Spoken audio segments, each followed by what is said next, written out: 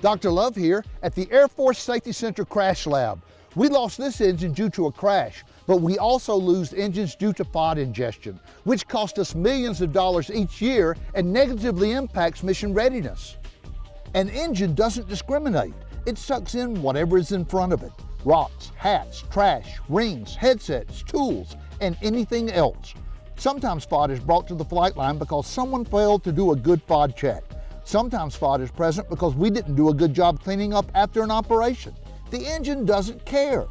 The engine doesn't care if the FOD is a bolt dropped from a truck or a wrench left near the cowling.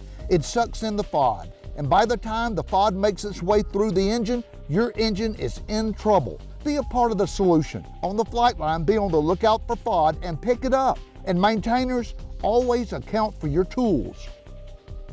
FOD.